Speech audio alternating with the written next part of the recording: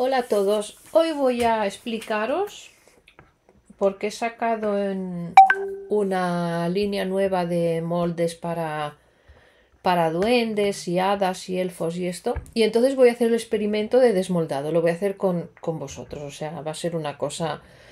Yo voy a usar esta pasta, que es una porcelana fría especial para las caritas, que me va a dar mucha definición esta, es en color carne.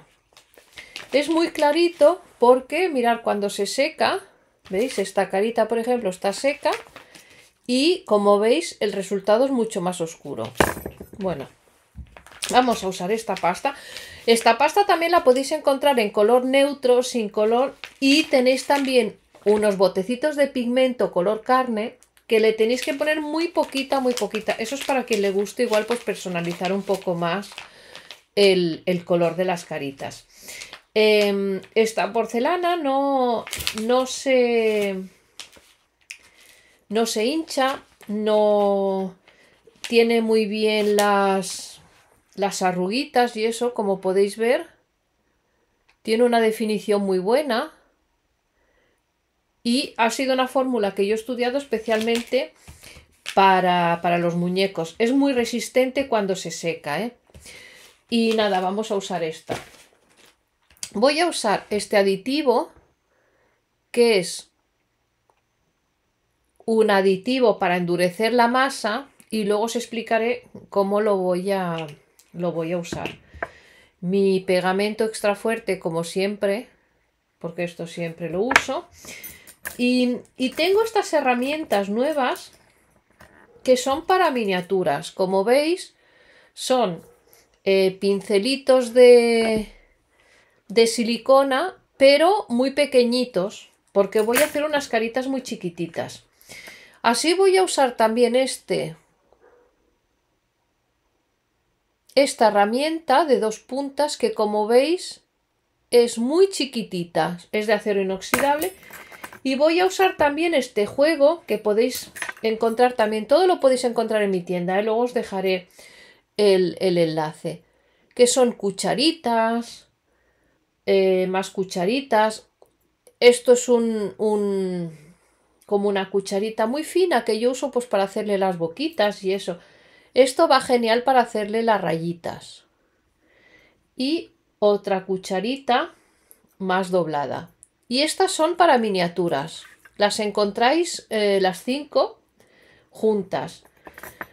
Luego os voy a enseñar los ojitos. Por ejemplo, estos ojitos son muy grandes, son los ojitos fantasía. Pero, por ejemplo, a esta cara que es muy chiquitina, pues vamos a usar, ¿veis? Yo voy a usar estos ojitos, por ejemplo, que son los más pequeñitos, que son de 3 milímetros. Son súper, súper pequeños, como podéis ver. Tengo de 3, de 4 y de 5 milímetros de estos minis. Y bueno, vamos a usar también el, el molde, que ahora esto es un experimento, este no será el definitivo, pero me sirve para hacer las pruebas. Y vamos a hacer una. Y vamos a usar una bolita de, de polispan. Este molde es el que lleva la bolita de 3 centímetros, ¿veis?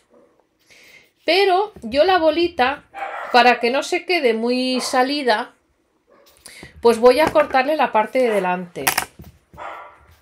Voy a cortarle un trocito.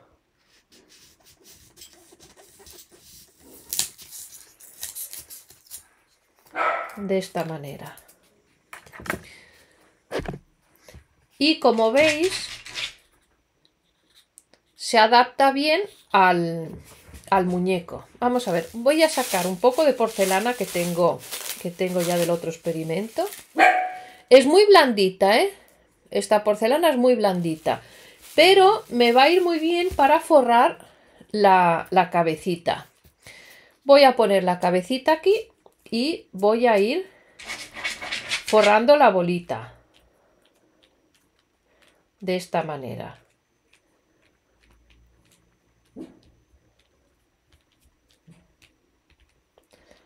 Hasta recubrirla toda.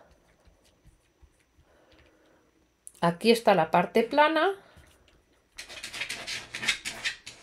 y le voy dando forma con el con la palma de la mano. Aquí tenemos la parte plana. Y esto es lo que vamos a pegar a la carita.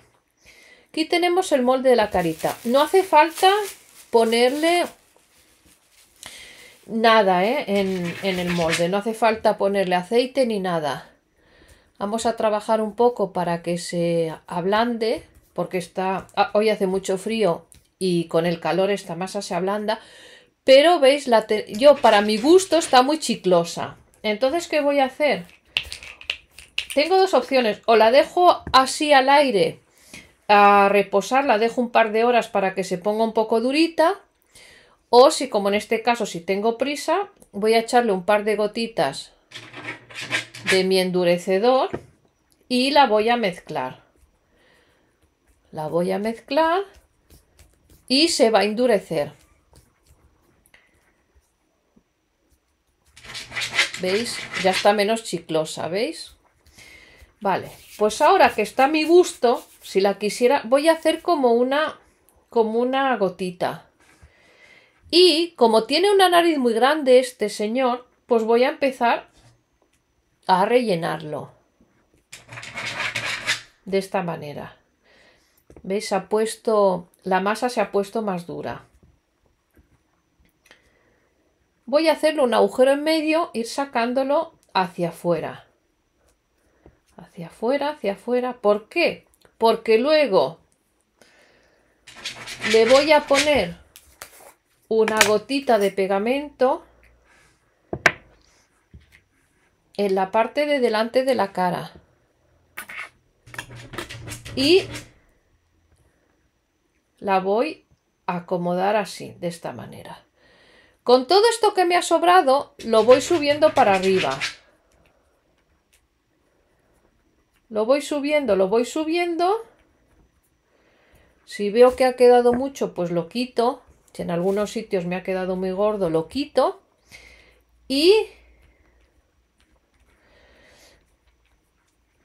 voy acomodando la cabeza y ahora el molde lo voy lo voy apretando y la carita pues va a salir sola, mirad.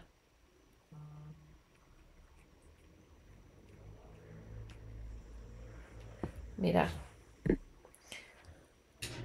La carita va a salir sola porque la porcelana está de una dureza justa. Ahora voy a seguir modelando la, cabeza. me puedo ayudar claramente con los instrumentos, por ejemplo, este que os he dicho para la boquita, pues le puedo hacer el corte, ¿veis? De la boquita. Le puedo hacer más arrugas. Le puedo hacer arruguitas también con este. Y con este le voy a hacer no, le voy a hacer con este las patas de gallo. Con este, que es más chiquito. Entonces, ¿veis? Yo ahora exagero, pero si veis, marca, marca bien. Em,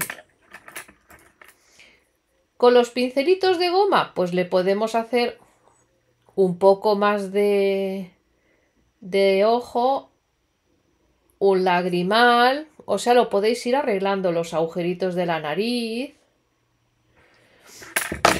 Esto, por ejemplo, se le puede subir para arriba. Los mofletes los podemos subir para arriba. Y podemos ir personalizando nuestra carita.